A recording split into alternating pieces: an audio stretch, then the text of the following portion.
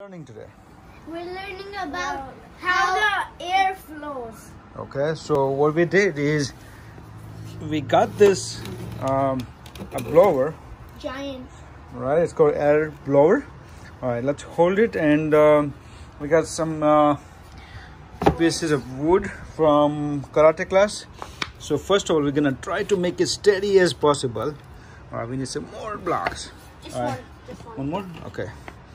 All right. Is it Perfect. staying? All right, so we'll probably put something on the side too. All right, let's fast forward. So we cut some wood around it to keep it steady. All right. All right, so this how it is. All right, there's air gonna be flowing on the top. All right, so let's let's see if we're gonna stay steady. Let's turn it on. All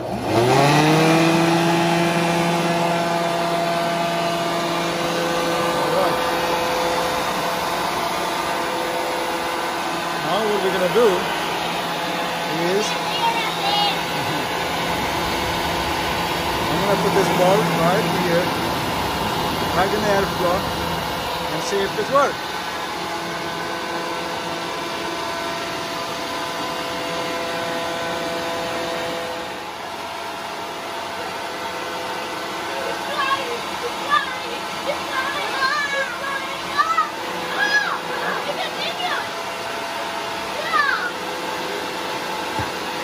Let's try putting in the string. Put it.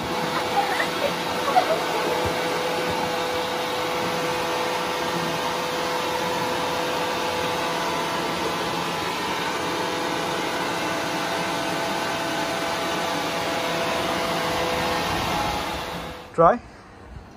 All right. Put in the number one. Yeah.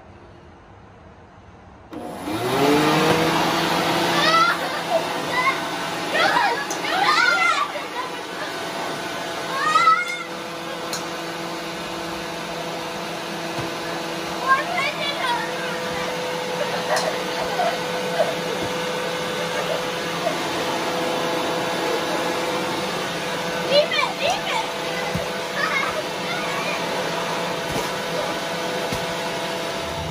A little bit more. Uh, what I did I drew this uh, on piece of paper and um, so this principle it calls Bernoulli's principle. principle right? And the way it works is you have a flow of air that's coming from here right? Going up in a, a single direction right? So let me draw this it each one goes up like this up like this up like this right? It's a one steady stream coming from let's see um, this is a blower that we were using right? It's hard to do is when you have phone in your one hand and trying to draw on the second you know using a second hand. Okay.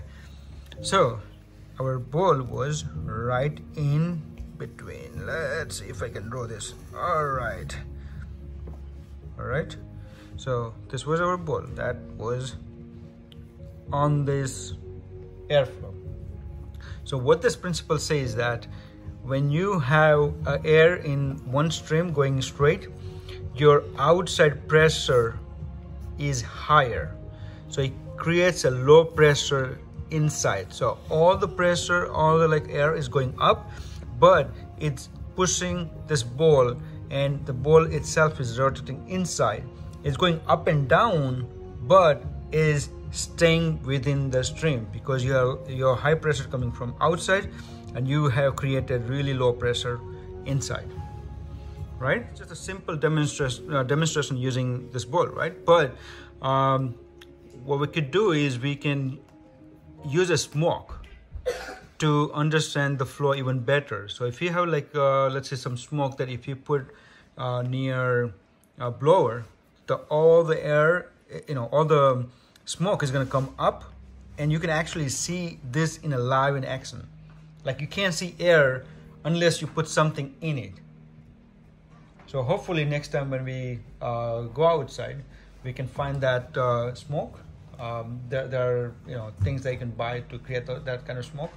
Uh, you don't want to use fire or anything to create the smoke because that's dangerous right uh, but there are other mechanisms you can use to see this in a live in action Now, this is just a simple example, but scientists and uh, aerodynamic engineers, they use this flow to understand, you know, for example, a car, when the car is going at the speed, how the flow is going to be um, working.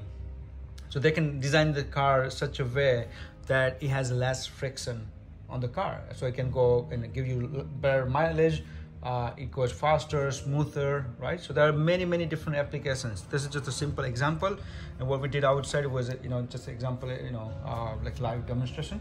Uh, but there are many, many different applications. I want you guys to go on YouTube, um, you know, go and study a little bit more and find out what, where else can you use this application uh, to learn more about the, the flow and learn more about this principle as well.